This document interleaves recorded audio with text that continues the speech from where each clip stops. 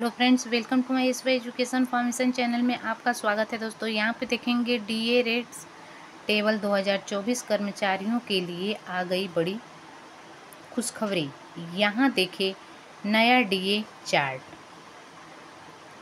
हमारे देश में अब महँगाई हर दिन बहुत ही तेज़ी के साथ बढ़ रही है। ऐसे में सभी नागरिकों का जो बजट है, उस पर जो है काफ़ी ज़्यादा असर पड़ता है। लेकिन महँगाई भत्ते का सबसे ज़्यादा असर सरकारी कर्मचारियों पर पड़ता है। इसलिए इसके बारे में केंद्रीय कर्मचारी नई जानकारी जानना चाहते हैं तो इस चैनल को सब्सक्राइब करें, बेल आइकन को प्रेस करें ताकि हर वीडियो की नोटिफिकेशन उनको टाइम टू टाइम मिलती रहे। यहाँ आपको हम बता दें कि केंद्र सरकार ने 31 जुलाई 2023 को महँगाई भत्ते में संशोधन किया था और ऐसे में अब मीडिया रिपोर्ट्स के अनुसार जो है ऐसी खबरें आ रही है कि साल 2024 में महँगाई भत्ते को सरकार द्वारा दो बार लागू किया जाएगा। लेकिन महँगाई भत्ते को बढ़ाने के लिए बहुत सी चीज़ों को ध्यान में रखना होता है और इसके पश्चात ही इसे लागू किया जाता है। आज के इस आर्टिकल्स में हम आपको डीए रेट्स टेबल के बारे में पूरी जानकारी देने वाले हैं, जो आपके लिए काफ़ी ज़्यादा उपयोगी हो सकती है। न्यू डीए रेट्स टेबल 2024 महँगाई भत्ते को लेकर के केंद्रीय कर्मचारियों के बीच में बहुत सी बातें की जा रही है। बता दें, चले कि सरकार द्वारा अभी तक नवीनतम महँगाई भत्ते के बारे में कोई भी नया अपडेट अधिकारी तौर पर जारी नहीं किया गया है। वैसे कुछ मीडिया रिपोर्टर्स के द्वारा यह कहा जा रहा है कि देश की सरकार बहुत जल्द महँगाई भत्ते पर लागू करने की घोषणा करने वाली है। और ऐसे में सबसे महत्वपूर्ण बात यह है कि पिछली बार का जो है महँगाई भत्ता छियालीस परसेंटेज रहा था और ऐसे में अब यह कितने प्रतिशत तक हो सकता है, इसके बारे में कुछ नहीं कहा। पता है। हालाँकि ऐसी खबरें भी सुनने में आ रही है कि साल 2024 के लिए सरकार महँगाई भत्ते को 50 प्रतिशत से भी ज़्यादा कर सकती है। यदि ऐसा हो जाता है तो तब सरकारी कर्मचारियों की सैलरी में और पेंशन में बहुत ही शानदार वृद्धि हो जाएगी। एच आर दोबारा से होगा रिवाइज और वैसे सरकारी कर्मचारियों के लिए नया महँगाई भत्ता काफ़ी बड़ी खुशखबरी है। और यहाँ सबसे बड़ी बात यह है कि यदि महँगाई भत्ते में पचास प्रतिशत से ज़्यादा की बढ़ोतरी कर दी जाती है तो इसके पश्चात फिर एच आर को भी दोबारा रिवाइज किया जाएगा।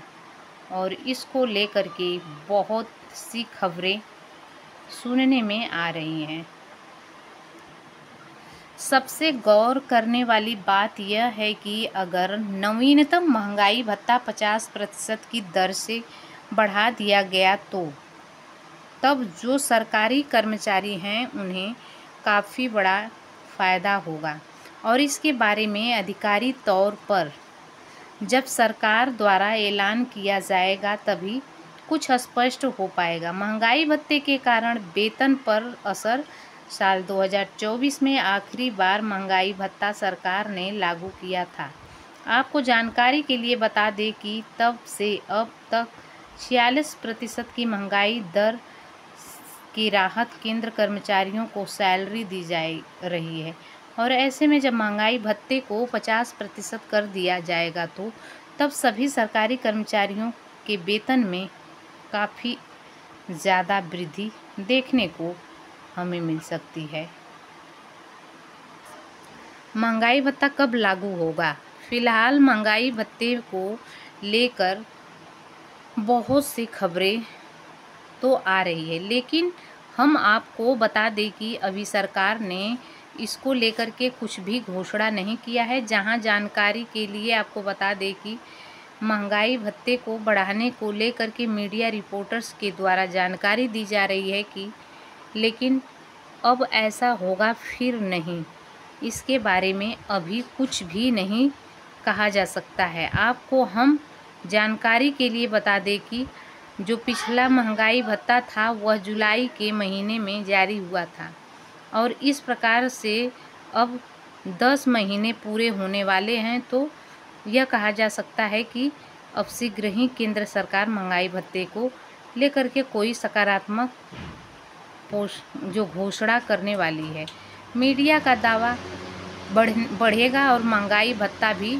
यहाँ हम आपको यह जानकारी देने चाहते हैं कि मीडिया रिपोर्टर्स के अनुसार ऐसा दावा किया जा रहा है कि महँगाई भत्ता बढ़ने वाला है। अब जो है महँगाई भत्ता पचास प्रतिशत से भी ज़्यादा किया जाएगा या फिर नहीं, क्योंकि इसके बारे में साफ़ तौर पर तभी जानकारी हो पाएगी जब सरकार द्वारा इसको लेकर के घोषणा की जाएगी तो ऐसे में सभी केंद्रीय कर्मचारियों को चाहिए कि सरकार की अधिकारी वेबसाइट और सोशल मीडिया हैंडल्स पर नज़र बना करके रखे। दरअसल, इसको लेकर के सबसे पहले जानकारी अधिकारी वेबसाइट पर, यहाँ पर हम आपको प्रोवाइड करेंगे। Thanks for watching. God bless you.